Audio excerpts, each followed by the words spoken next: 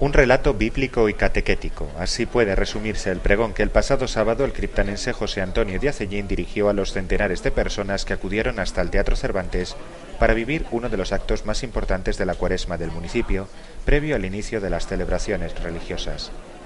Un momento que el propio protagonista decía vivir con mucha ilusión, sobre todo porque había preparado un trabajo de investigación al que le había concedido una forma muy novedosa, a fin de llamar la atención a través de una combinación variada de elementos. Un día grande para Campo de Cristana y también, por qué no decirlo, un día grande para mí, porque me hacía ilusión hacer el pregón de Semana Santa y cuando me lo ofrecieron, pues tampoco dudé mucho en, aceptar. Y nada, pues encantado de, poder ofrecer eh, este trabajo que he hecho. Es un trabajo de, de investigación, sobre todo. Está montado a modo de, de película. Se titula El itinerario de la salvación. Es un recorrido por un recorrido bíblico, un recorrido teológico catequético. En definitiva, lo que preside todo es, es el amor de Cristo, que es el, el protagonista principal de,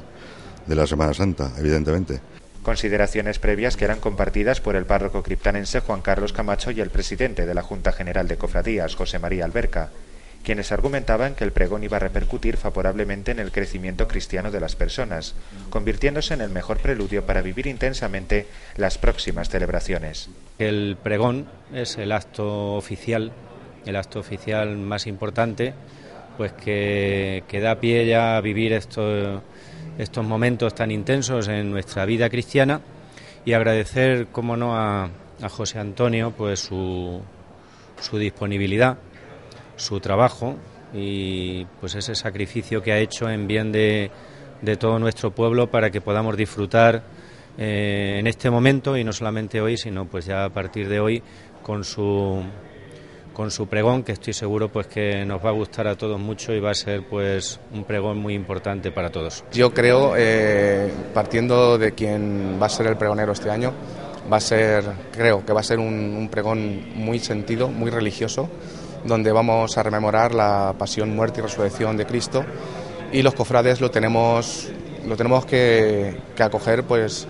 pues eso, un poquito pues, para prepararnos de cara, de cara a la celebración de nuestra Semana Santa. Por su parte, el alcalde del municipio, Santiago Lucas Torres, indicaba que el pregón se convertía en el mejor colofón de una intensa cuaresma llena de actividades culturales y religiosas.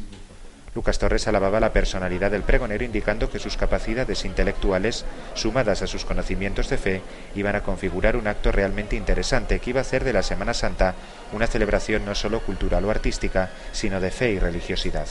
Es lo que, lo que nos tiene que preparar para que la Semana Santa no sea solamente una Semana Santa de cultura, de, arte, de popularidad, sino una Semana Santa de fe y de religiosidad, que todo bien llevado y bien combinado, desde luego, resulta pues, pues muy armónico y muy hermoso para todos los sentidos. Por lo tanto, darle la enhorabuena a José Antonio por adelantado, pero sobre todo a la Junta General de Cofradías y al máximo responsable, a don Juan Carlos, porque creo que lo están preparando todo pues como se merece Campo de Cristana. Durante la disertación, el pregonero contó con las intervenciones musicales de la coral Santa Cecilia y la pianista Haruko Tamaki. Igualmente, el acto se completó con la entrega de los premios correspondientes al vigésimo primer certamen nacional de fotografía de Semana Santa y con la imposición de la insignia de oro de la Junta General de Cofradías a Santiago Calonge y José Javier Muñoz Quirós, expresidente y ex tesorero del colectivo.